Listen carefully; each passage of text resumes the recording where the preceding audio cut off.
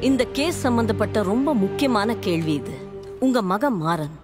மதம் மாறினது உண்மையா இல்லையா? என் புள்ள மதம் மாறினா மேடம். யாரோ அரசியல்வாதிங்க சொன்னதை கேட்டு இ- என் புள்ள அன்பு பண்ண வேலை அது. என்னையும் ஞானஸ்தானம் எடுக்கிறதுக்கு கூப்பிட்டான்